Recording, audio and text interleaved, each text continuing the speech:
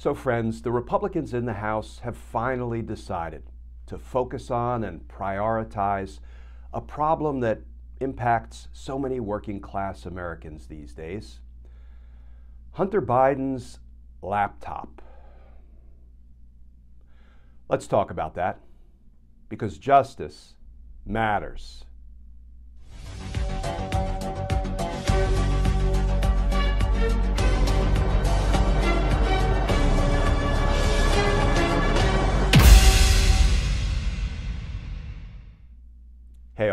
Glenn Kirschner here.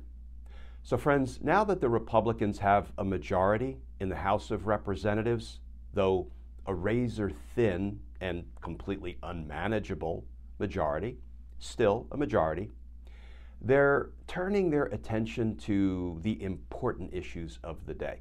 Right? They're focusing on improving the lives of ordinary, everyday Americans by investigating Hunter Biden's laptop.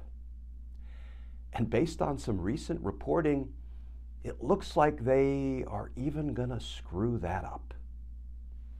Here is the new reporting by NBC News. Headline Hunter Biden asks for criminal probe into Trump allies for theft of data from laptop. And that article begins Lawyers for Hunter Biden sent letters Wednesday requesting investigations into allies of former President Donald Trump who they say trafficked in stolen information from his laptop. A dramatic shift in strategy for the president's son after years of GOP attacks. Among the letters, which were obtained by NBC News, was one sent Wednesday asking the Justice Department's National Security Division for an investigation into individuals for whom there is considerable reason to believe violated various federal laws in accessing, copying, manipulating and or disseminating Mr. Biden's personal computer data, including Rudy Giuliani, who was Trump's lawyer at the time. Biden's lawyers wrote a similar letter to the Delaware Attorney General's office requesting a probe into the same people, alleging they violated various Delaware laws in accessing Biden's information from what Trump has called the laptop from hell. And you're going to love this, friends. Giuliani has acknowledged having passed on a copy of the computer's hard drive to the New York Post shortly before the 2020 presidential election. The letters to investigators also recommended an investigation into John Paul Mac Isaac, who has said Biden abandoned the water damaged laptop at his Wilmington, Delaware computer repair store. Because, friends, all of that sounds perfectly plausible, right? Ordinary, not at all nefarious. This guy, this computer repair shop guy, John Paul Mac Isaac says, um, Hunter Biden uh, gave me his laptop to repair, and then he abandoned it. So, you know, I naturally gave it uh, to Rudy Giuliani, who then gave it to the New York Post just in time for the 2020 presidential election all you can say to something like that, a narrative like that, is, come on, man, really? Well, it looks like Hunter Biden is tired of being used as a punching bag for the Republican propaganda machine.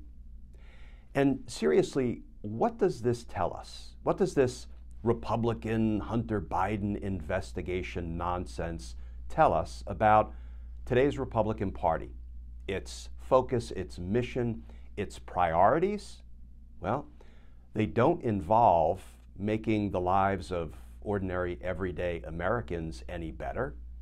They don't have any programs or proposals for the issues that we're contending with today you know, crime, inflation, the insurrection. They have no interest in dealing with any of that. You know, this Republican nonsense, prompted me to post the following this morning. Examples of the Republicans working to improve the lives of everyday Americans? Let's see. Benghazi investigation, Hillary's emails, Hunter's laptop. Let's face it, those who can govern do. Those who can't go on absurd investigative witch hunts. You know, friends, I've always said I am no political analyst or expert, but I'm an American voter, and I can see what today's Republican Party is doing right out there in the harsh light of day. And I actually think it's pretty clear that the Republican Party is circling the drain. It will implode, it will crash and burn. And the only remaining question is what will rise up from the ashes? I suspect that some of what may rise up from the ashes will include people like Liz Cheney and Adam Kinzinger, people for whom the continued existence of our democracy is more important than their own reelection prospects. And once this long national nightmare is behind us, and it will be behind us at some point, friends, we will get there. Once it's behind us, maybe we can go back to having discussions and disputes and even arguments over policy matters. Because we will still disagree about policy matters, but maybe when a new Republican Party rises up from the ashes, we will all be able to agree that at least justice matters. Friends, as always, please stay safe, please stay tuned, and I look forward to talking with you all again soon.